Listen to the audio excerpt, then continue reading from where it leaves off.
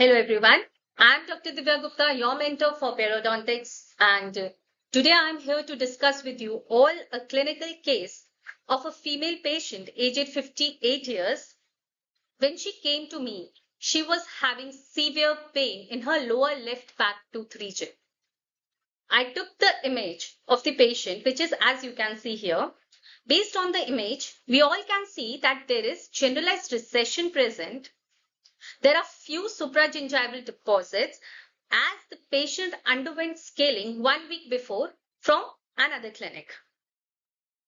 Also, there is spacing between the teeth because of pathologic migration.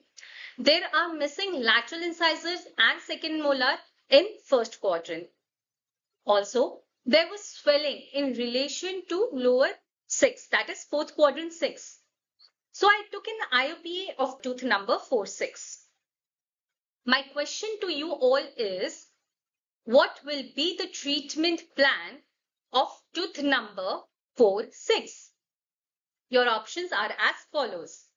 Option A, scaling root planing, endodontic treatment, flap elevation, treatment of the furcation and prosthesis.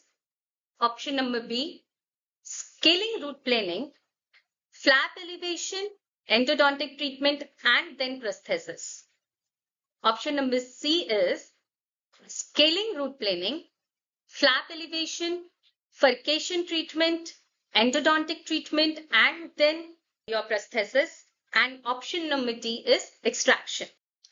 Let me know your answers in the comment section below and I will be giving you the answer for this question tomorrow after 6 p.m. Thank you all.